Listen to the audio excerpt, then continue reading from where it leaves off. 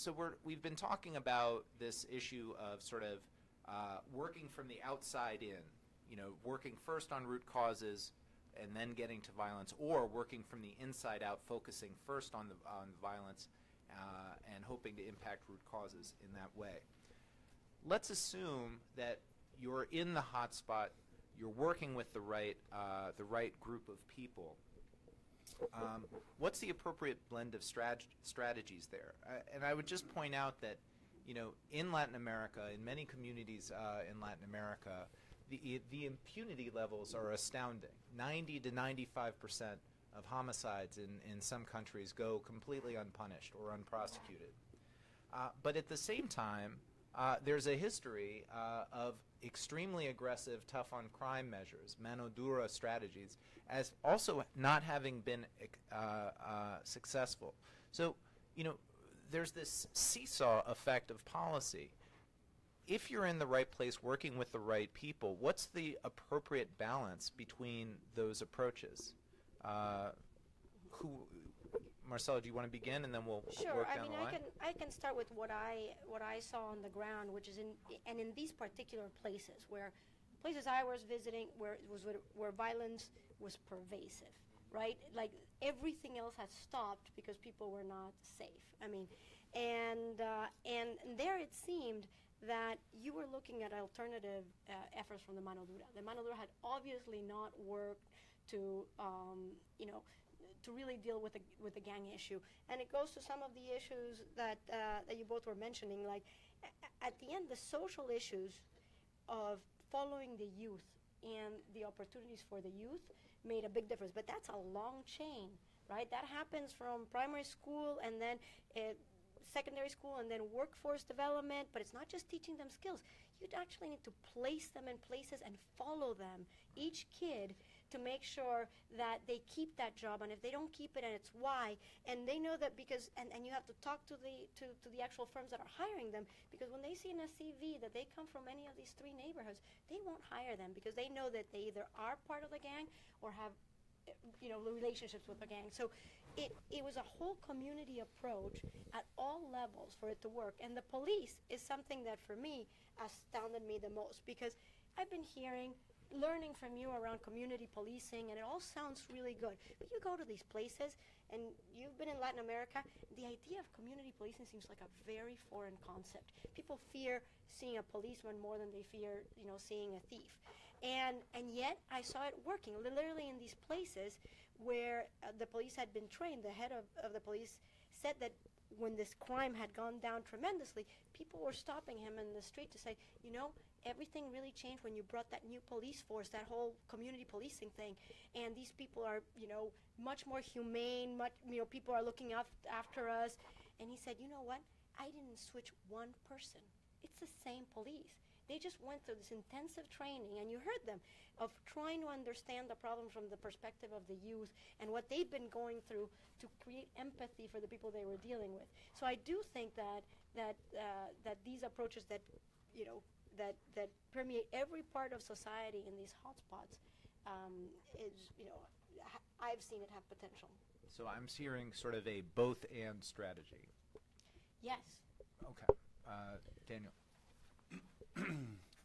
this is a great point that Marcela is raising, uh, which we haven't m- touched upon before, which is the crisis of uh, legitimacy, legitimacy of the state in Latin America as a consequence of the failure of our states to provide basic services, among them, you know, public safety. Uh, so the general distrust in the police is something that is really, really, really makes policing a difficult job to do. If you want to do it right, you know, you don't people don't trust you, which is what actually happens. Uh, then it's just a much more uphill battle in general. So I think this is a very important point, um, and that's why I think police reform efforts are really important. But ultimately, if you think about the balance between prevention and control, this is a way of, of putting it, um, I think we need to do both. So this is uh, the short answer is to do both.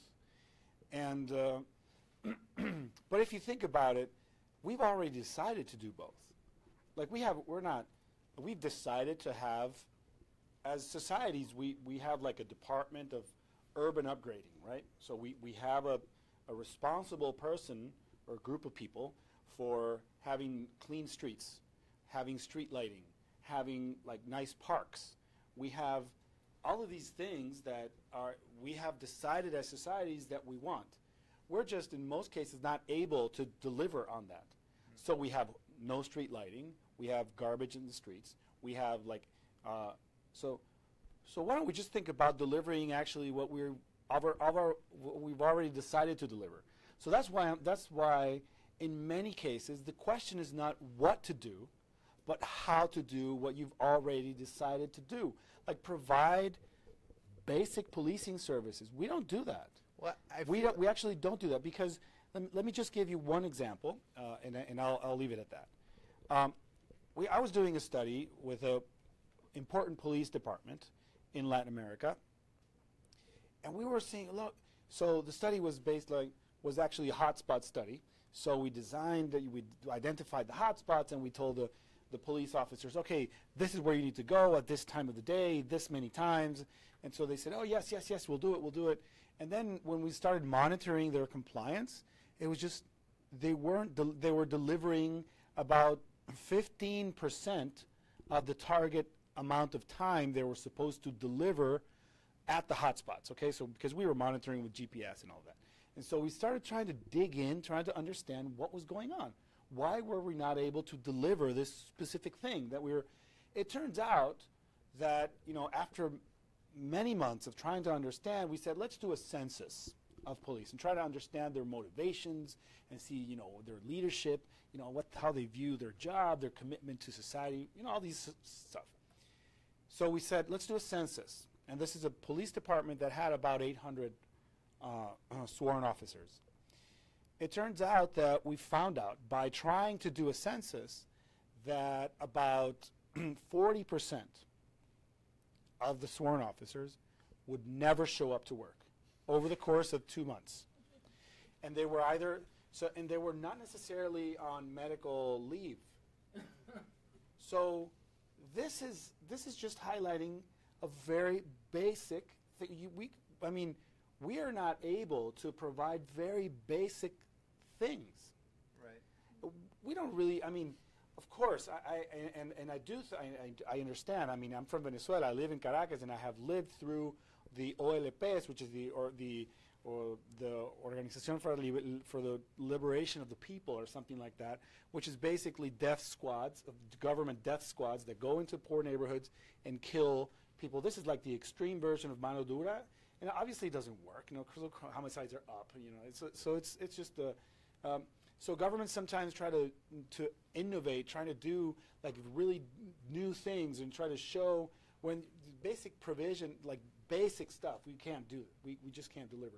So I think that it, it's it would be useful to say we've already as societies, like in our legal frameworks, in our constitutions and everything, we already have a certain amount of balance between these two. Why don't we start delivering that, and then we can take the discussion a little bit further and see you know where we want to prioritize. That's Right. Nathalie. Well, I think uh, we, we touched on, on a very important point. It's about the institutions in Latin America. Who are the police officers? Who are the people who are delivering the justice service? So, for example, only 40% of the citizens in Latin America trust the police, and 30 trust the justice systems. And I think we are talking in, in, uh, something very important here about the role and the function and services that, be, that, has, that have to be provided by the security service. The problem is that we work with governments, and governments are involved in politics. Governments have to show results. And you know, when we talk about the long prevention, social prevention intervention, they say it takes too long. No, it doesn't serve me. And this is why, for example, we work a lot with governments. The right balance is something that we, we, we find out to be very effective in engaging, engaging governments to work in a specific citizen security projects. And, and the balance is basically the combination of the control and deterrence interventions like hotspot policing. Uh, we have also uh, some interventions like uh, improvement of the public places. So we have some results that give some breathing for a start social interventions. And, and in social interventions, we work, you know, targeting the, the, the most important factors that are linked to violence in one place. So I think this is something that's been working really good. We give uh, a, a good balance, and we respond gover- to governments that they need to address the issue. And sometimes they do it like a mano dura, putting more police on the street or putting more people in prisons. And we know for evidence it doesn't work. So this is